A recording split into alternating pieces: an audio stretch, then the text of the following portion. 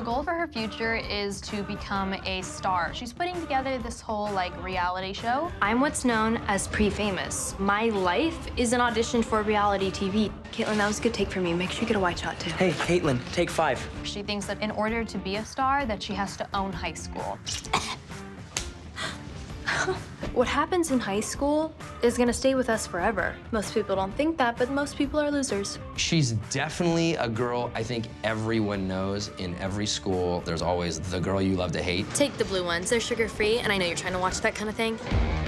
One thing I like about it is that they're sort of fake friendly with her, and the lines are a little blurry, and she's very passive aggressive. Bianca, you have to have an actual invite to get in, and I only have a certain amount. Problem solved. Oh, hey. Look at that. Wonderful. It's not even that she just naturally wants to be this mean. I've tried to be nice. Have you? She thinks it's funny. She thinks it's cute and that it'll get her someplace. She was all like, bitch, if I wanted your opinion, I'd ask. And I was all like, bitch, if I cared what you thought, I'd ask. Ugh, my grandma's so annoying.